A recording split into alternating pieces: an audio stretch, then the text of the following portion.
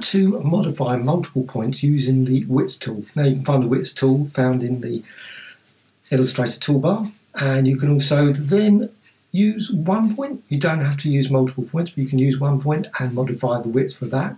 But you can actually select multiple points in that width.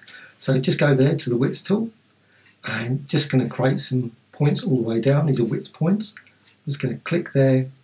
Yeah, just drag it out. Just drag that out. Drag, or obviously, you can change any number of things. That you can actually see your settings there. You've got a little box that tells you the the side one and side two, and obviously the total as well. So you can just drag that out.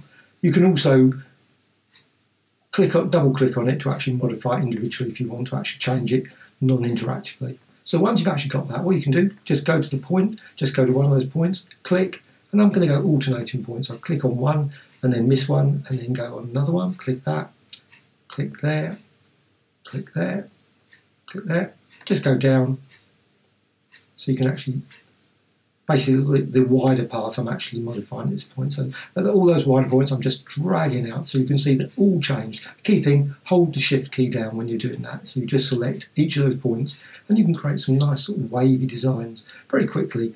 Now you can see that the size is not actually, and you can also move up and down as well. At some point it will stop moving. You can't push it down further. It won't go over the other points. So uh, now I'm just going to go for the small, the inner points there and again holding the shift key and the top one there and then you can just resize that and just see those change and they're approximately about the same but they're not they're not all equal so you just go down you see they are slightly different like I say you go up and you can go only so far and then it will stop and you can pull it down again if you want to do that as well Right, so you just go there and you can create all kinds of shapes. Now, what you can do once you've actually done that, of course, you can save the actual design, save to a library.